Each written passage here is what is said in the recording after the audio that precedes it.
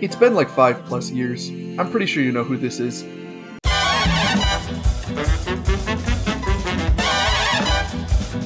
Just in case someone here has been living under the biggest, fattest rock you've ever seen for the past five plus years, Cuphead is a video game that's made to look, sound, and feel like the 1930s. It looks like the 1930s because every single part of every single frame is hand drawn.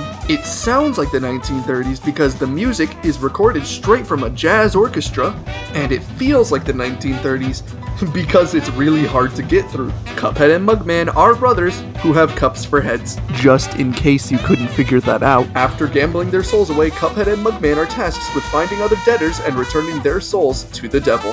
I'm just gonna come out and say it. I love this game. The animation is amazing, the art style is amazing, the sound design is amazing, everything feels like you're in the 30s. It's hard to play, but it's fun to play and it's fun to watch. There's so much I love about Cuphead except for a few bosses. That's what prompted me to make this video. That and the recently just released DLC that came out, Cuphead has a lot and a lot of very fun, unique, and interesting boss fights, and a few that I just don't like. So I figured, hey, why not rank the bosses in a specific order that I like based on a few key factors? I'm going to be dividing what I like about each boss into two specific categories, which I like to call substance and style. Substance is going to include gameplay, it's going to include what I like about how difficult a boss is, or how much fun I have trying over and over again. Style is presentation. Style is how great an animation is or how amazing the music is. I'm gonna start out by saying this is exclusively my opinion. If you agree, that's cool. If you disagree, that's also cool. Tell me your list in the comments below. Before we begin, I'd like to specify that I would not call a single fight in Cuphead bad. I'm gonna be exaggerating a few of my opinions for comedic value, but for the most part, all of the bosses are fun, well designed, and very creative, apart from number 31. With that, let's get right into the ranking.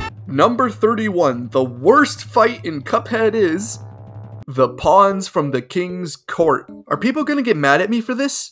Is this a controversial choice? Do people really want to defend the pawns from the king's court?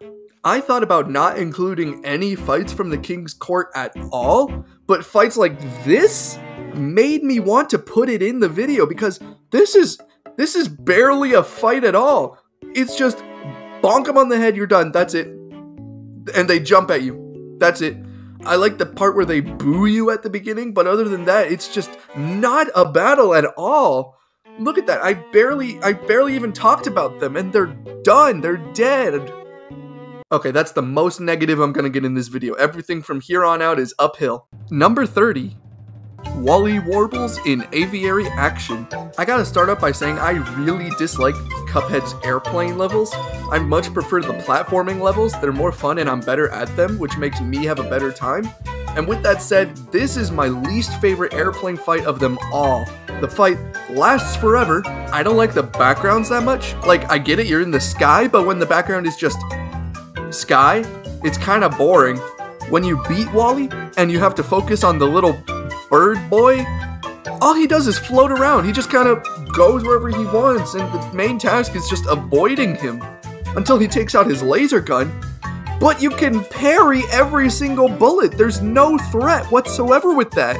And then once you do defeat him, I mean, I like when he cries, because I like when children cry. But when he's defeated, Wally comes back with no feathers and spits stuff at you. That's boring. Spits stuff at you. That's just not fun. That's weird. Next, number 29 The Angel and the Devil. In this secret boss, the devil will always be in front of you and the angel will always be behind you. Every time you turn around, the devil's attacks will be replaced with little angel bubbles that don't harm you and vice versa. But you can use this really easily to your advantage. You can just turn around and make attacks go away. It takes away any sort of challenge. And the music is just I mean, it's really mysterious and it's kind of cool, but it's not Cuphead, you know what I mean? It's not bombastic, it's not big and loud. But let's say you're having a really fun time with the boss fight. You're going, whoa, this was weird. Can I try again? But what score did I get? What? What? You just get booted. You don't get a score. You don't ever get to try again, the only way you get to try the fight again is to replay the entire game until you get up to that point. That's what makes the fight one of the worst in my opinion. Never, ever getting to try again. Number 28. Baroness von Bonbon in Sugarland Shimmy. Let's get the big negative out of the way. I don't like how the fight is randomized. From phases 1 through 3, Baroness von Bonbon will send out a different minion to take you out. The minion each time is a different minion. I would rather that not happen. I would rather the fight be against the same minion in the same order so I could learn a pattern more easily. And the final phase, which is not randomized, is kinda boring. Despite the castle literally coming alive, it's just not that fun to fight against. However, I want to specify that I really do like the animations and the art style, and especially the background. I love the candy and the sweets aura this thing has going on. I really like how crazy Baroness looks in the second half of the fight, but the actual fight itself is just kind of boring. More like Baroness von Borbor. Let's just move on. Number 27. The Bishop of the King's Court. This fight is pretty short, which I'm having trouble figuring out if that's a positive or a negative thing. But the main problem I have with this fight is the sounds. Specifically when you finish snuffing the candles and he goes... That just isn't that fun. I'd rather not hear that all the time when I'm playing. It sounds like if I'm fighting Baldi with a stuffy nose, it just doesn't sound appealing to hit him and go...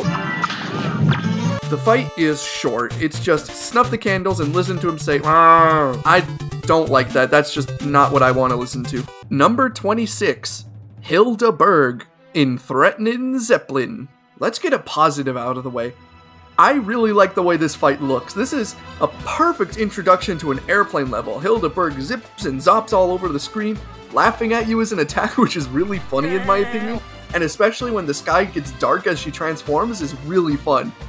But with that said, it's still an airplane level, so it's gonna go pretty low. And on top of that, some of the movements are just too wacky for me. Like, this bull keeps moving up and down on the screen, and it makes it hard for me to consistently get hits on the bull. And it's especially hard when I know that the bull is gonna lunge and potentially hit me.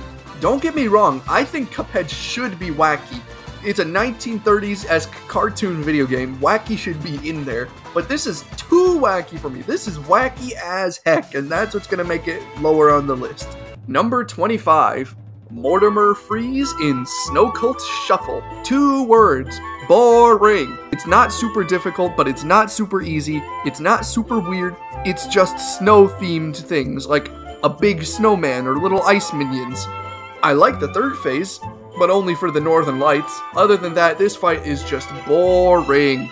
Number 24. Rumor Honeybottoms in Honeycomb Herald. I like the first phase a ton, trying to fight the guard or cop or something, while trying to jump around the honeycomb and avoid other people is really fun, but then Rumor shows up and it's just not that fun, and especially not the second phase where she drops her head down the middle with the chain. It's hard because you can only hit the top or the bottom, and I don't like that. I like when the enemies are big and easy to hit. The fight is difficult, sure, but that's mainly due to awkward platforming and weird hitboxes. Number 23. Jimmy the Great in Pyramid Peril. I like Jimmy a ton, and I like the first phase where he chucks a bunch of stuff out of his treasure chest at you, but then he just kind of summons stuff for you to fight instead of him, which isn't that fun. I like Puppet Cuphead, I think that's really funny. I think it's really fun and it's pretty funny, but other than that, and especially the second phase where you're trying to shoot through the hieroglyphics, it's just not that fun. Number 22. The Rook of the King's Court. I love the animation at the beginning where he stops daydreaming and notices you and gets ready for a serious battle, but then after that he just kinda sits there, getting his axe ready, and flinging the heads of past victims back at him is a fun concept, but I just don't have that much fun with the actual fight itself. It might have something to do with the dungeon setting, I think it's too grimy and dark, but it's just an okay fight regardless. Number 21. Dr. Kahl's robot in Junkyard Jive. My main problem with this fight is his second phase. The first phase is fine enough where you try and shoot different parts of the robot's body down, and the third phase where he uses a Chaos Emerald to make chaos is pretty fun, but that second phase is lame! this is not that fun. It's not that hard either, it's just really not fun trying to hit him as he keeps moving.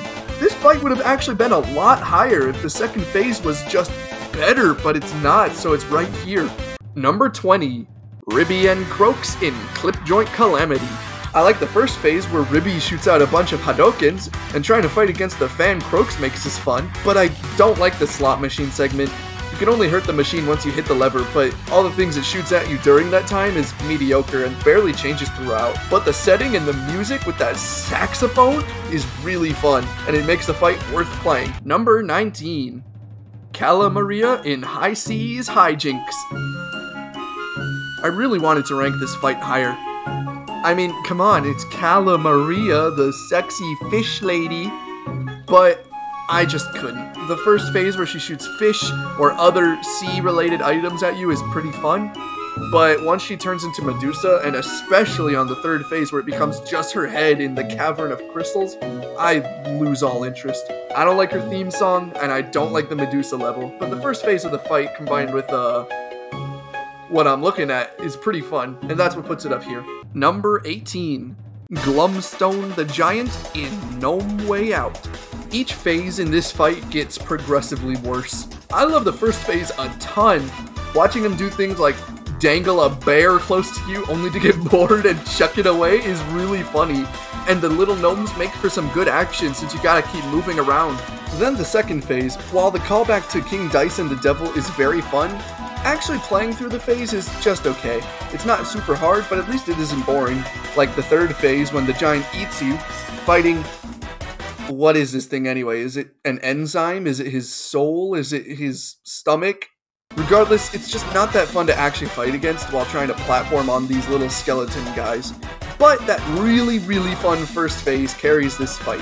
Number 17, Goopy Le Grande in Ruse of an Ooze or maybe it's Grand. Right about the middle of the list goes the easiest boss in the whole game. Seriously, it's so easy. You can duck under most of his attacks. On top of that, I think the gravestone is really limited. It just occasionally actually comes into the foreground to hit you.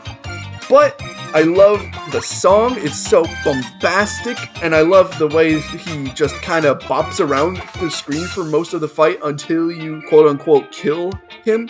Easy doesn't necessarily mean bad. Here, it's easy, but it's not bad. Number 16. The Root Pack in Botanic Panic. What an amazing first fight for a game. The music is so stellar and it's so 30s, it really sucks you into the world that you're in, and it lets you see just a glimpse of what the rest of the game is going to be like and how it really goes above and beyond. But with that said, it is still the first fight. It's easy and you know, vegetables aren't exactly memorable boss fights, but this is still a pretty dang good level. Number 15. The Howling Aces in Doggone Dogfight. Right away, I love the fact that this is not an airplane segment, this is an airplane fight. Essentially, you ride on the platform of this biplane piloted by a friend, and you jump and duck through the attacks by the dog gang. I love all the dog themed attacks, like shooting hydrant missiles right at you, or the cat from Werner Werman? Sorry, anyway, I think after the first phase, the fight goes a little downhill. Like, for an amazing first phase with the dog shooting bones at you, the second phase is just they kind of float around you, which is unremarkable and easy to dodge, especially the bow wows that they shoot at you. But then the big dog rotates the screen, which is really cool, until I realized that I am not good at it, and it's my list, so I'm putting it lower down because of that. With that said, it's still pretty dang good just brought down by an unremarkable second phase. Number 14. Beppi the Clown in Carnival Kerfuffle. This is gonna sound a little weird, but I am not scared of clowns. I think they're funny, which is why I'm super happy that Beppi isn't like a scary clown. Like, that'd just be stupid. Who the heck would want a scary clown? That'd be stupid. But instead of that, they use the opportunity of him being a clown to do theme park attacks like hot air balloons or roller coasters or merry-go-rounds. The music in the fight is super bouncy, but Beppi is held back by a few things. One, he's annoying. the voice actor did a very good job, but he won't shut up. Plus, the fight for me is a little unremarkable. Sure, the background of being on a roller coaster is amazing, but when I try and think of the actual fight, I can't really remember anything except that final phase where he becomes the whole tumbler. That's a tumbler, right? Number 13, the Queen of the King's Court. It's kind of weird that there's a queen boss fight, but not a king. Like, come on, king, it's your court, at least rule it. But with that said, the queen is okay. Like, dodging the Fabergé eggs is kind of fun. And the mice cheering at the end, that's a nice little touch. I like that a lot. But it's still just okay. I don't I can't even really comment it on that that much. It's just kind of okay. Number 12. Esther Winchester in High Noon Hoopla. You know by now that I really don't like airplane fights, right? This is by far my favorite airplane fight.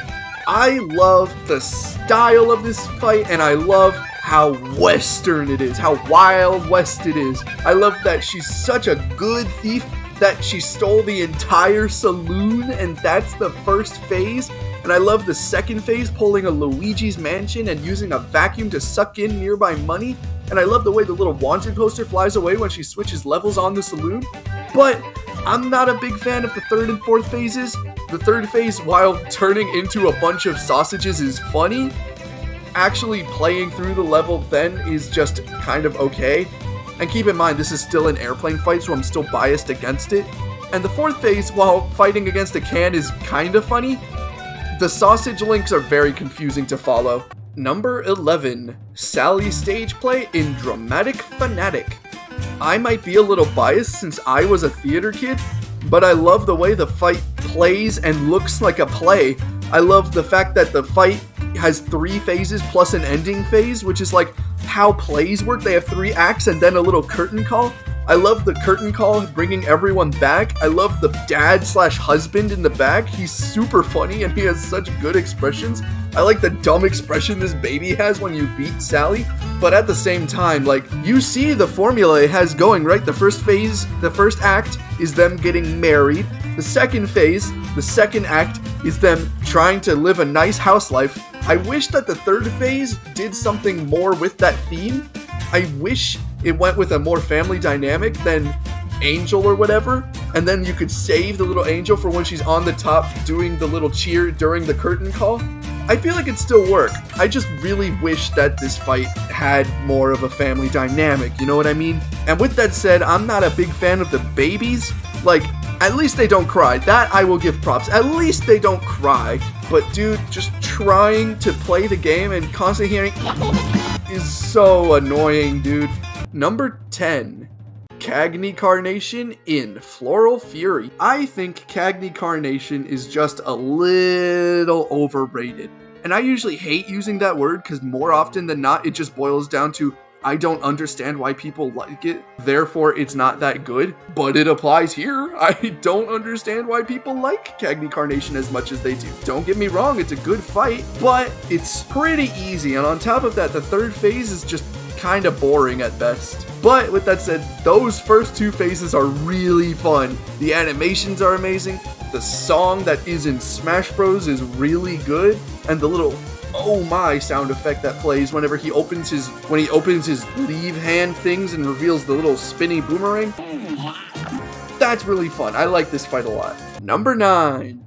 Grim Matchstick in Fiery Frolic. My main problem with this fight is the floating cloud platforms feel too random to me. I already established before that I don't like it when things are random, and Grim Matchstick definitely applies to that. But with that said, I love dragons. I can't help it. I love dragons. I love the tower in the background. There's probably a princess in there. Who knows?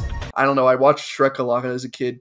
I love the dragon. I love the breathing of the fire, and I love the little tail wiggle right before it shoots up and hits you. I love the flames, and I love the, especially, I love the three heads that come out right at the end and form a hydra as the sky turns dark and lightning flashes. It's so cool. But the floating clouds and a few other problems, like the fire is a little bit annoying, is just what's holding this fight back.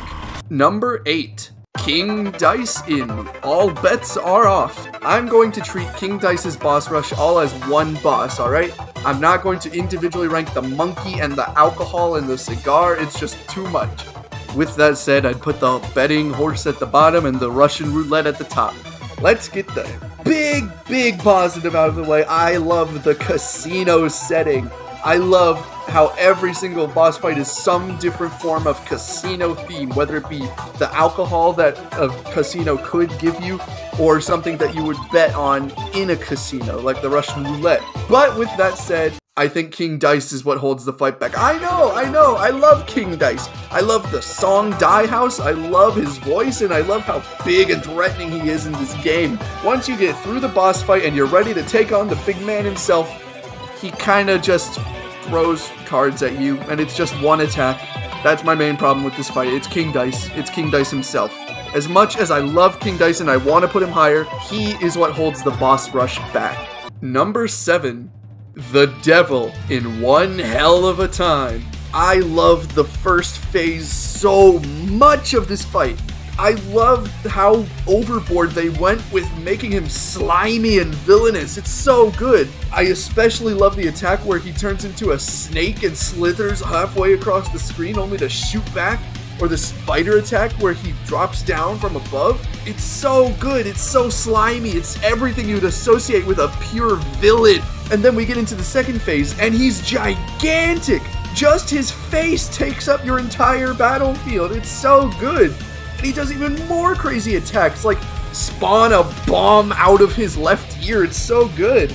And then the third phase, while not as fun to play, it lets you really feel how thematic it is because you can see he's getting angry. You can see he's really getting mad. And then you get to the fourth phase and he starts crying, and that's really, really annoying. You could argue that the first three phases of this fight should place it higher, but me personally, I think because the fourth phase is so unfun, it drags down the rest of the fight with it. Number 6. The Phantom Express in Railroad Wrath. I love spooky settings, and I love that this fight is everything spooky. It's like a mini boss rush of different spooks, like this ghost that shoots different eyeballs out of its hand. That's so cool. Or the giant skeleton conductor that tries to squish you is so cool. But with that said, actually playing through the fight, it's not painfully boring, but it is pretty boring. Like, I love the first phase, I love the second phase, the third phase is kind of okay. And the fourth phase, while when you get the hang of it, it's fun, trying it for the first time kind of brings it down a little bit. Number 5. Captain Brineybeard in Shootin' and Lootin'. Dude, I love pirates. And having a whole boss fight against the pirate captain and his ship is so cool. I love the thing that he pulls out. I think it's like a fish or something that he shoots little pellets at you. That's so cool. And I love the different kinds of minions he spawns in. Yes, they're randomized, but they're all easy to follow and they're easy enough to understand. And then when the ship gets so mad at you that it just ditches Captain Brineybeard and tosses him overboard, and you can see his little pirate body falling, that's so fun and then he hyper beams you. I can't, I can't with this fight. It's so good. But with that said, the fourth phase is what brings it down. Despite how much I just talked about the hyper beam and how cool it is, actually trying to play through the pirate ship itself is kind of boring. Not to mention, Brineybeard starts off the fight really slowly. But when the fight really kicks off, I love it so much. It's enough to put it in the top 5 of my favorite boss fights. Number 4. The Knight of the King's Court. This fight isn't as high up for the reason you think. Yes, the music's amazing, yes, I like the backgrounds, and yes, the knight itself is very well animated. But it's not difficult, but that's why I like it. It's genuinely a lot of fun seeing how many parries you can put together in one string. It's genuinely a lot of fun. I can't comprehend it. Like the knight beat Captain Brineybeard? Yeah, I had a lot of fun just trying to bounce off the little mane as he's tired and seeing how many you can get away with before you get hurt is like really fun. But with that said, it still is one of the King's court fights, so that's gonna hold it back, namely due to a lack of variety. Here we go, we're in the top three, baby. This is the podium of the best fights in Cuphead according to me. These fights are so good that I'm not gonna pick some random background song that feels like they fit within the fight. I'm going to let the actual song play. Number 3. Werner Werman in Murine Corps. This is my favorite fight in base game Cuphead. I love Werner Werman. Or is it Werner Vermin because he's German? Whatever. Anyway, this fight is so good. This is my favorite fight. I already said that. But like, this beats the devil. This beats King Dice's boss rush. This beats Captain Brineybeard.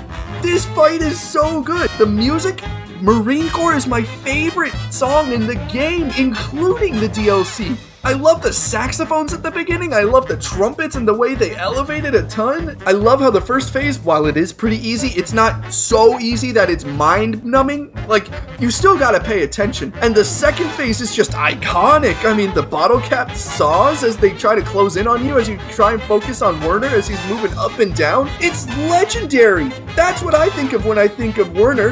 But I know what a lot of other people think of when they think of Werner Werman they think of the cat that comes in from the third phase and that becomes the boss fight. And that's so cool! I love how the inside of the cat's mouth is visible as Werner just kind of sits there like knowing it's his doom. And I love the little cat's jaunt as he's like ready to take you down. It's so funny! And I love the little meows that he makes and I love the way the souls of other dead rats come to attack you. It's so cool!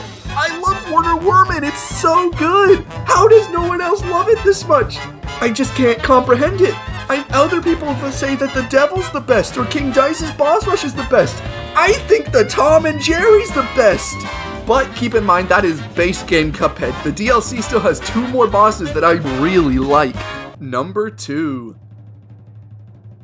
There is one thing holding this fight back from being number one. After playing and thinking about these fights for a long time, I think number two should be the Moonshine Mob in Bootlegger Boogie. I like the Anteater. I think he's well animated and I think he's funny. But the fight slows down a little bit. Not sucks, not goes down the drain, just slows a little bit. With the only negative I have with this fight out of the way, I can't get over how good this fight is! I just can't believe it! This fight is amazing! The music is top tier Cuphead. This is so good. The scatting from the woman is so good, and I love the policemen and the bootleggers having an ongoing fight around you. I love the gramophone that comes down, and that's what your main target is during the second phase. And I love the fake knockout screen. It's so good. I love the fake knockout. And I love the way the boss fight establishes that he's there in the beginning so you don't feel super dumb when he comes down and kills you. I love the way the head honcho, the main mafia guy, he speaks in Italian, quote unquote. And I mean, you know, fake Peter Griffin Italian. This fight is so good. I just can't get over it. It's amazing. This fight is so good. This is everything Cuphead. It's hard, it's 30s, it's bombastic, it's loud, it's amazing. It's so good, I love it so much. But there's still one more we haven't gone over. And finally, number one, the best fight in Cuphead is Chef Saltbaker in A Dish to Die For. When Cuphead's DLC was both released and announced, I did not trust Chef Saltbaker. I had a bad feeling about him, despite how big and jolly he looked. I just had a bad feeling, especially when the marketing only said, he's here, and then that's it. That set off a few red flags in my head.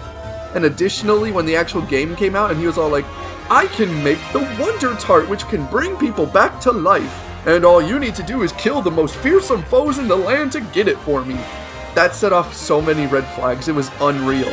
I understood that there would be a boss fight coming up. I understood that Chef Saltbaker was not all he seemed. Now, with that said, I never, in my wildest dreams, thought the fight would be this good! I'm gonna go down that original list I made at the beginning and go over why he succeeds in each and every single one of those categories.